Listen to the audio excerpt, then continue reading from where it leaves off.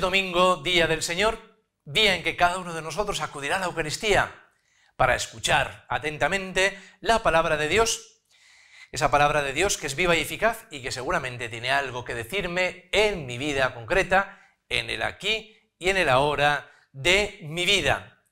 En el Evangelio nos dice Jesús que les dice a los apóstoles que el que no está contra nosotros, está con nosotros. Qué importante es que cada uno de nosotros destierre de su corazón la envidia, porque el problema de la envidia es que pone trabas al bien.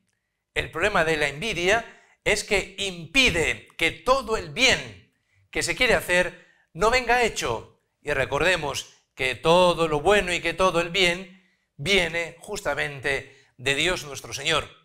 Alegrémonos más bien de todo el bien que veamos independientemente del que lo haga y ojalá que muchas más personas estuvieran trabajando y haciendo el bien. Desterremos de nuestros corazones, de nuestras vidas, de nuestra sociedad, la envidia. Justamente hoy, en este domingo, celebramos la Jornada Mundial de los Migrantes y de los Refugiados.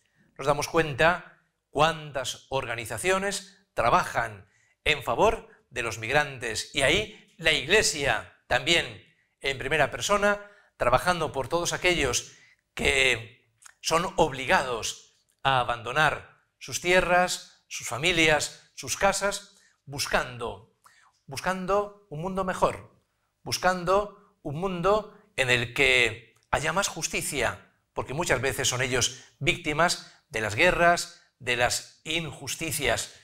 Recemos en este día por todos los migrantes y pidamos al Señor que nos dé un corazón que sepa acoger sin distinción a todas las personas, especialmente a aquellos que se ven obligados a migrar, a aquellos que se ven obligados a dejar su tierra, a dejar sus familias para buscar posibilidades para su vida.